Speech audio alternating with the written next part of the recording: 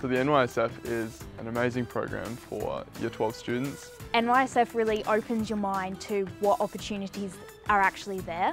We're getting in-person experience of what university might be like, of what working in these fields might be like. The social side has been great. We've had staffies, we've had each other.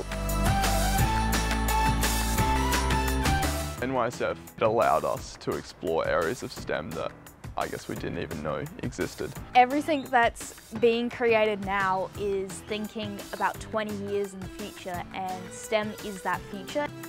The digital program in January was um, absolutely action-packed. There was so much to learn. NYSF, it gives you the opportunity to be immersed in it. You see it from a new perspective. So yeah, that's what's really different from school.